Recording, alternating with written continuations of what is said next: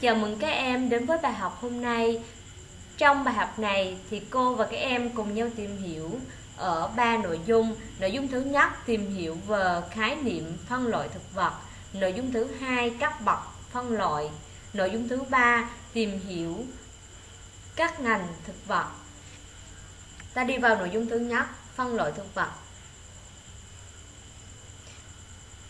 Đầu tiên chúng ta sẽ điểm qua những cái nhóm thực vật mà mà cô và các em cùng nhau tìm hiểu ở bài học trước như là nhóm tảo, nhóm rêu, dương sĩ, hạt trần, hạt kín. Rồi, tại các em hãy suy nghĩ và trả lời cho cô tại sao tảo và cây hạt kín này không được xếp vào cùng một nhóm mà nó được xếp vào hai nhóm khác nhau. Tại sao? Rồi cô gợi ý đó là về tổ chức cơ thể cũng như là về uh, mạch sinh sản xem thử là giữa hai cái loài này nó có điểm gì nó tương đồng với nhau hay không. Thì mình đã học mình biết rồi. Tảo thì về uh, ờ, các cơ và cơ van sinh dưỡng thì nó chưa có rễ thân lá. Còn cái ca hạt chín này đã có rễ thân lá và ở tạo là chưa có mạch dẫn nhưng mà ở cái hạt kiếm này đã có mạch dẫn rồi. Về mặt sinh sản thì tạo sinh sản là bằng bào tử, còn ở hạt chín này đó là sinh sản bằng hạt. Như vậy mình thấy là giữa chúng có rất là nhiều điểm khác nhau, nên người ta đã xếp hai cái loài thực vật này vào hai nhóm khác nhau. Tiếp theo, mình thấy là đây là các loại tảo. Người ta xếp các loại này vào một nhóm, đó là nhóm tảo. Còn các hình phía bên dưới này, đây là một, đây là một số loài thực vật hạt kín. Thì người ta đã xếp chúng vào nhóm là hạt kín. Tại sao các em?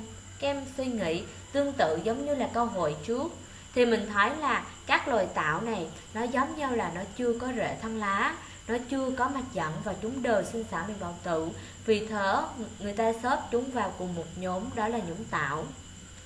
Còn hạt chín thì sao? Chúng đã có rễ thân lá rồi và cũng sinh sản bằng hạt rồi và đều có hoa. Rồi như vậy chúng có cũng có nhiều điểm giống nhau, nên người ta xếp chúng vào cùng một nhóm, đây là nhóm hạt chín.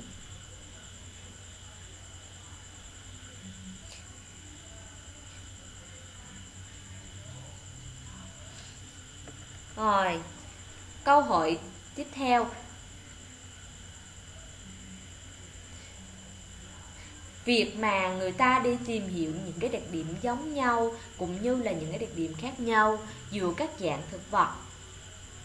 Rồi sau đó người ta sẽ phân loại chúng thành các bậc phân loại khác nhau. Thì việc làm này người ta gọi là phân loại thực vật. Vậy phân loại thực vật là gì? Các bạn hãy quan sát trong sách giáo khoa và trả lời cho cô câu hỏi này. Như vậy, phân loại thực vật là tìm hiểu các đặc điểm giống nhau và khác nhau giữa các dạng thực vật để phân chia chúng thành các bậc phân loại. Người ta gọi là phân loại thực vật. Tiếp theo, các bậc phân loại. Theo thứ tự từ cao đến thấp thì người ta phân chia các bậc phân loại như sau. Đầu tiên là ngành, dưới ngành là có lớp, dưới lớp là có bộ, dưới bộ là có họ, dưới họ là có chi, dưới chi là có loài. Cô lấy ví dụ như là trong một ngành thì nó có nhiều lớp, trong một lớp thì nó có nhiều bộ, trong một bộ thì nó có nhiều họ, trong một họ thì có nhiều chi, trong một chi thì có nhiều loài. Các bạn quan sát hình cho cô các bạn quan sát cho cô. Ví dụ, ngành thì có ngành râu ngành hạt trần, ngành hạt chín. Rồi, trong ngành hạt chín thì được chia thành hai lớp, đó là lớp một lá mầm và lớp hai lá mầm. Rồi, trong lớp một lá mầm thì cô chia thành có nhiều bộ. Ví dụ như bộ gừng này, bộ hành này.